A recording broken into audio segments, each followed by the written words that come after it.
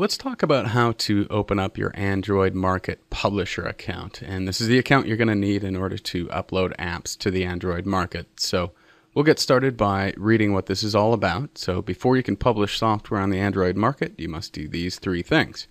You need to create a developer profile. You need to pay a registration fee of $25 with your credit card, and they will make you use Google Checkout for that. And then you need to agree to the Android Market Developer Distribution Agreement. Let's get started filling out the form here. So you have a spot for a developer name here, and this is what will appear underneath your apps as you start publishing apps to the Android market. And as you publish more and more apps, they'll use your developer name to show people who are looking at one of your apps that you've created a list of other apps that they might be interested in. We'll just call us Android App Training. And then you enter your email address. You want enter a website URL if you have one. And then they do ask that you enter a phone number, and this is just in case they do need to call you for any reason. If you have an app that's on the market that they need to speak with you about, at least they can give you a phone call. So let's go ahead and get a phone number put in here. And they do ask that you put in your country code, and I'm in the US, so I'll do a plus one.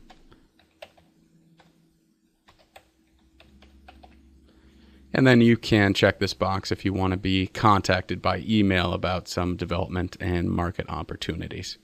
Now we're done with this part of the form, so we'll click continue. All right, so the next screen is asking you to pay your developer registration fee of $25. We'll just click continue. And the next step is to sign into our Google account.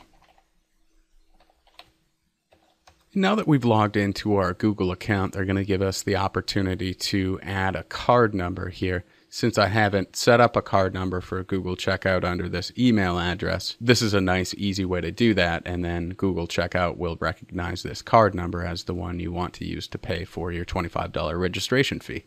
I'm going to go ahead and fill out this form here, and obviously I'm not going to put my card information on this video, but when you're done filling out the form, you press agree and continue, and after I press that button, I'll be right back.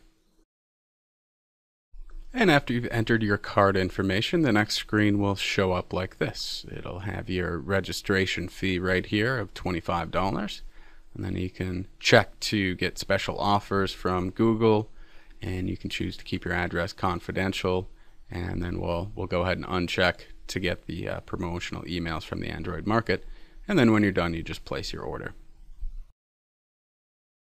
And when you're completed paying for your Android publisher account in order to get into your account you want to go to market.android.com backslash publish. And that'll actually take you right to your account here. And as you start uploading some apps they'll start showing up here